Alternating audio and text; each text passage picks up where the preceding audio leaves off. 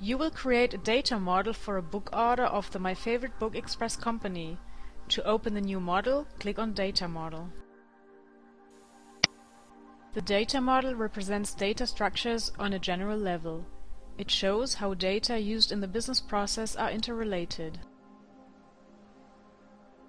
First, you place the Entity Attributes fragment provided by the Fragments pane. You will then assign the name book to the entity object, which is the information unit.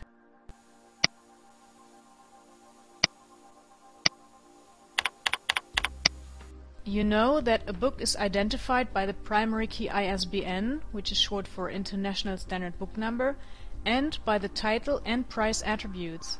You therefore name the objects accordingly and delete the attribute object that is not required.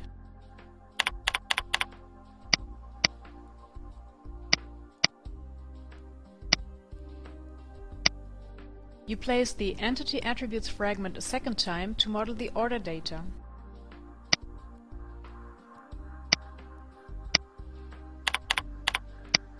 The order that has been created is defined by the primary key order number, the foreign keys customer ID and ISBN, and by the order date attribute.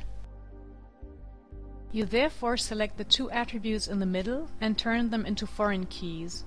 You must redraw their connections because existing connections are automatically deleted.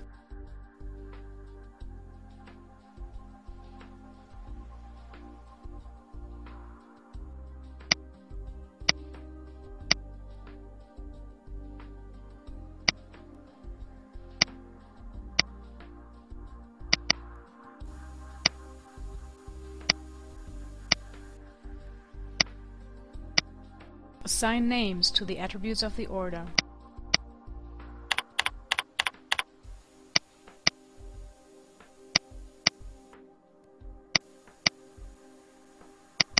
Now you can create the connection between the book and order objects. Next you specify the connection's cardinality. That is, you specify how many of the two data elements may occur in the relationship.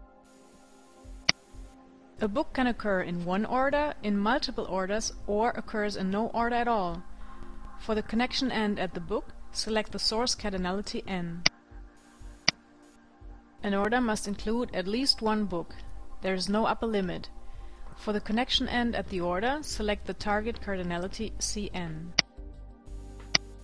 You now close the dialog. As you can see, ARIS Express has modified the connection ends to graphically represent the cardinalities. A few notes on ARIS method. The object types primary key, foreign key and attribute define objects of the entity type in more detail. In our case, the order entity. Although there is only one object type that is called attribute, the primary and foreign keys are also attributes of the order object as they help identify objects. So the primary key object type serves to uniquely identify an object. In contrast, the foreign key object type refers to the primary key of another data object. Thus, it establishes a connection to another object.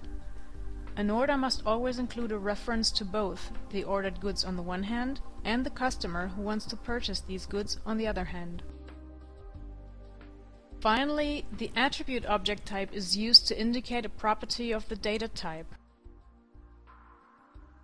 The model is now complete, and you can save it as my favorite Book Express data model.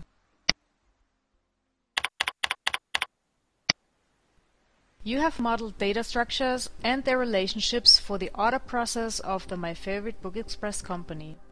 The model describes the relations between the data elements.